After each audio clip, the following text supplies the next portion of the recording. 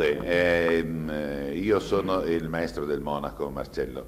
e insisto nel dire una cosa fondamentale, che si può cantare solamente con la laringe molto bassa, molto fonda,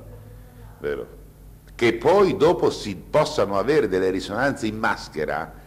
si, poss- si debbano anzi cercare delle risonanze in maschera, questo è una questione vocale e di vocalità piacevole, ma rimane sempre il fatto fondamentale e mh, direi eh, primitivo, principale, che la laringe deve essere sempre fonda. Il cercare la maschera al, alzando la laringe, tenendola diciamo così alla metà eh, della posizione eh, tra il fondo e l'alto, eh, è sempre un rischio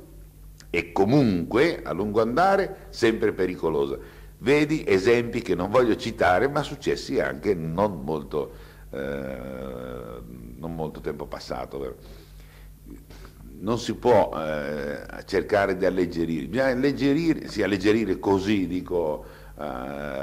alla meno peggio, si alleggerisce solo limitando la spinta sul diaframma, ma la posizione rimane costante, sempre quella. Il raccolto nel passaggio, raccolto scrupoloso, anzi direi dalle note basse all'acuto, senza neanche pensare al passaggio, è tutto raccolto alla voce, deve essere dal basso all'acuto, posizione è una sola,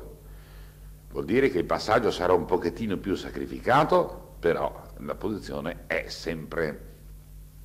eh, rimane sempre costante, rimane sempre perfetta, anche in un'opera eh, dove occorre un'emissione potente, notevolmente potente. Eh, Ecco, queste sono le raccomandazioni che io posso fare al mio amico Rolando